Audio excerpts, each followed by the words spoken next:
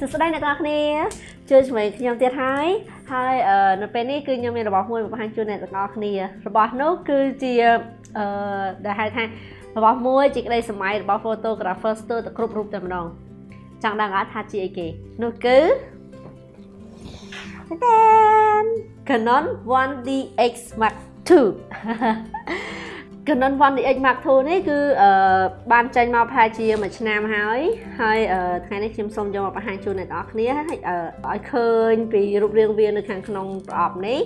ថាវាមានរូបរាងយ៉ាងម៉េច 1DX Mark II នឹងហេតុអីបានជា photographer ស្ទើរតែគ្រប់រូបដែលតែងតែសម័យចង់បាន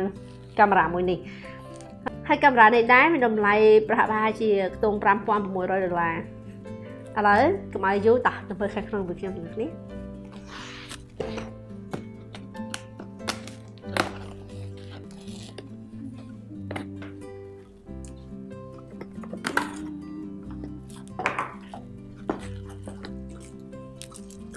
អាហាឌីមានឌី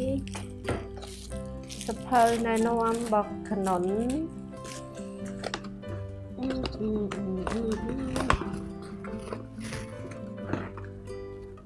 អាហា battery អត់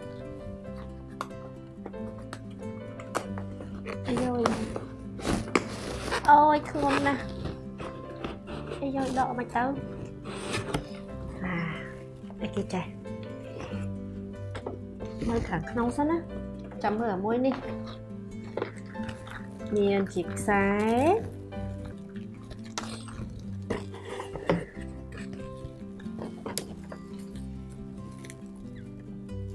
រះមួយ charger ធ្លាប់ទៅប្រើកណននោះអា charger ទុយទុយយើងដាក់បមូខ្សែបន្តិចមកដាក់ព្រោះបានដល់ពេលនេះអូធំមកគេនេះ មិនមិនធម្មតាណាធំណាឆាច់ជើគេនេះខ្សែដល់ឆាច់ជើហ្នឹងអហាខ្សែភ្លើងគេអស់ហើយប្រអប់នេះដល់ចេញមួយឥឡូវយើងចូលដល់ប្រអប់មួយនេះនេះរបស់ដែលសំខាន់របស់ដែលពិសេសបំផុតតែយើងចង់ឃើញគ្រប់គ្នាចង់ឃើញរូបរាងវាអូយ បើកតាមណាតាមណៃទៅខ្ញុំ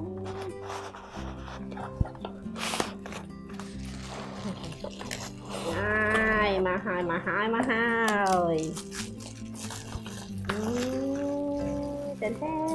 នតែនតែនហើយនៅ1 2បាយអូយ នេះបើសិនជាខ្ញុំកាត់វិញកើធំថ្មីថ្មីហ្មងណាតែចង់និយាយថាបើឲ្យខ្ញុំកាន់ហត់វិញឃើញតែឃើញតែកាមេរ៉ាឃើញមុខខ្ញុំចាសម្រាប់រូបរាងនេះស្អាតអត់យើងស្បឃើញដូចជា Friday Mark 2 Mark 3អីទួយទួយតែដល់ពេលនេះគឺយើងមានខាងក្រោមមានមានថែមអាក្រោមវាធំណាគឺស្អាត តែកាន់ទៅអត់ភ័យរឿងឈប់ហើយវាក្តាប់ទៅក្តាប់មកជាប់ដៃហ្មងមើលរូបរាងស្អាតធំបើសិនជាខ្ញុំកាន់វិញគឺលើកថតមកចាគឺចូលលក្ខណៈថាឃើញតែកាមេរ៉ាឃើញអត់បាត់បាត់មុខខ្ញុំបាត់ហើយអឺនិយាយតាមត្រង់ខ្ញុំមិនដែរប្រើទេ One DX Mark II អីគេហ្នឹងខ្ញុំធ្លាប់ប្រើតែ Friday Mark II Mark 3អញ្ចឹងហើយវាទូចទូចស្អីស្អីវាទូចទូចដល់ពេលមកនេះធំហើយខ្ញុំមិញ បើកមកខ្ញុំមិនដឹងថាកន្លែងណាដាក់នេះទេ memory ទៅនេះតែខ្ញុំធ្លាប់ប្រដងបើយើងប្រើ Friday Mark 3អីយើងគ្រាន់ទាញចេញមកវាមកណាប៉ុន្តែអានេះអត់ទេវាមានដាក់ខាតនៅកន្លែងនេះយើងកាច់វាឡើងកាច់វាឡើងហើយមិនឲ្យមូលវាបានបើកមកបើឲ្យក្នុងនោះយើងដាក់អាចដាក់ memory បាន CF ដល់ទៅ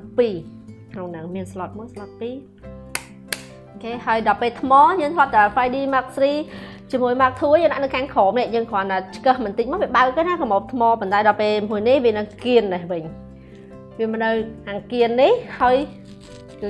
ធ្វើការឆ្កឹះវាឡើងកោះវាឡើងយ៉ា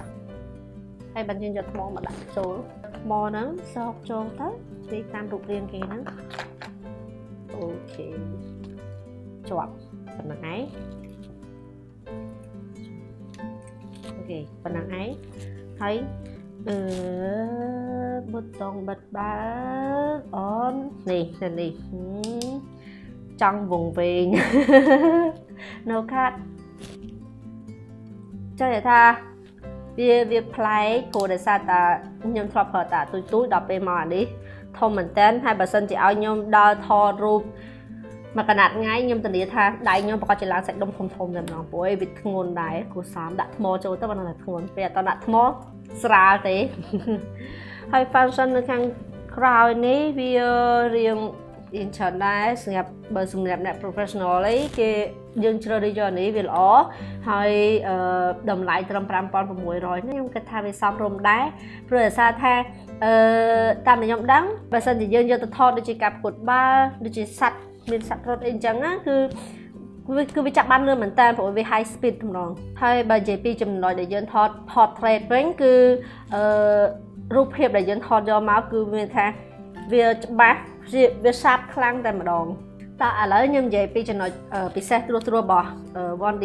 X Mark II នេះប៉ុន្តែខ្ញុំសូមលើកដល់ចំណុចមួយចំនួនទេព្រោះដោយសារខ្ញុំក៏អត់ដែរអត់តបានប្រើដូចគ្នាអត់បានប្រើ 1D X នឹងដែរ លើកទី1របស់ខ្ញុំប្រើអញ្ចឹងខ្ញុំសាក់លបងប្រើហើយខ្ញុំនឹងត្រឡប់មកជួបអ្នកទាំងអស់គ្នាវិញប៉ុន្តែឥឡូវនេះខ្ញុំលើកយកចំណុចសំខាន់សំខាន់មួយចំនួនបញ្ជូនអ្នកទាំងអស់គ្នាដូចជាចំណុចទី1ខ្ញុំនិយាយពីខាង photo កាមេរ៉ានេះគឺ full frame crop filter ហើយវាផលិតរូបភាពបានដល់ទៅ21 megapixel និងទំហំ 6K អញ្ចឹងមានន័យថាវាផលិតរូបបទច្បាស់ខ្លាំងមែនតើហ្មងហើយចំណុចសំខាន់មួយទៀតរបស់ខាង photo ហ្នឹងគឺ speed គឺយើងចុចចុចម្ដងគឺបានដល់ទៅ14សន្លឹកក្នុងមួយ second អញ្ចឹងគឺវាលឿនមែនតើយើងចុចទៅបាទមួយ second គឺយើងបានដល់ទៅ14សន្លឹកអូនចាំមែនថាយើងទៅថតអឺបាល់តតថតសាច់ត្រុតអីអញ្ចឹងថាយើងពេលខ្លះយើងដឹងចាប់គាត់អត់តន់ទេអញ្ចឹង គាត់តែប្រើអានេះទៅ speed វាលឿនអញ្ចឹងយើងទទួលបានរូបភាពស្អាតមែនតើហ្មងហើយហើយលឿនណាកុំបារម្ភណាព្រោះ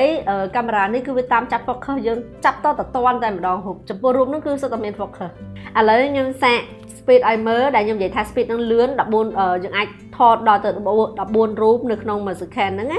តោះទៅមើលគ្នា1 2 3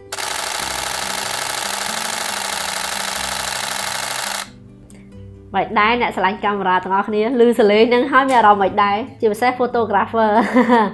តែមួយទៅត្រឹមតែប្រហែល5600តើហើយកាមេរ៉ានេះគឺប្រើ chip DG 6 Plus យកទៅ2គ្រាប់ឥឡូវខ្ញុំសូមបង្ហាញនៅចំណុចទី